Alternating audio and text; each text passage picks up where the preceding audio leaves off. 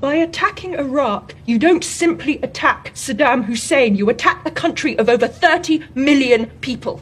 And I cannot bear to think of the pain and the suffering that that will cause.